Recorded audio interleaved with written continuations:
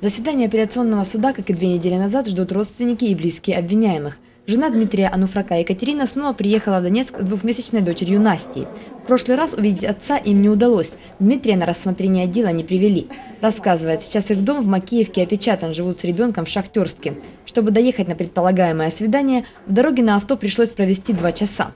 Она развивается быстрее, чем свои, ну, судя по знакомым рассказам. И я считаю, что очень похожа на отца, и я считаю, что это нормальный, здоровый ребенок. Отец ее ни разу не видел еще. Подсудимые обвиняются в терроризме, незаконном хранении травматического пистолета и патронов и нападении на таксиста. В последнем преступлении признался сам Ануфрак.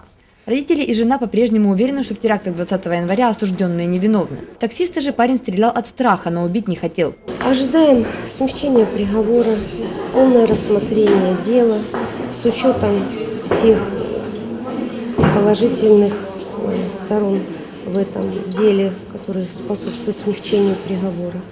Вот, объективности, Заключенных на суд привозят из СИЗО. Бросившуюся к мужу Екатерину Ануфрак с дочерью к скамье подсудимых не пускает конвой.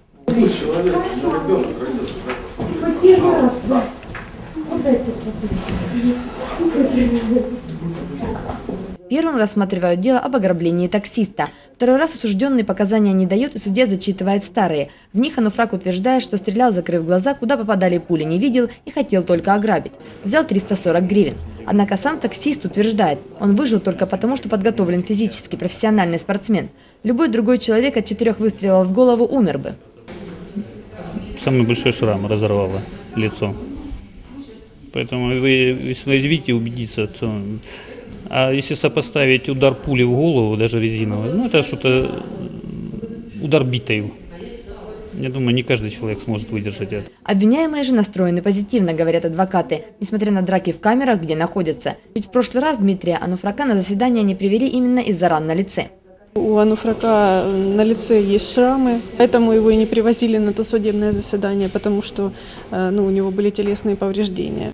Заседание продлилось больше пяти часов. Пока решение суд не вынес, однако адвокаты уверены, на месяц рассмотрения не затянется. Вердикт служителей Фемиды защитники и родственники надеются услышать через несколько дней.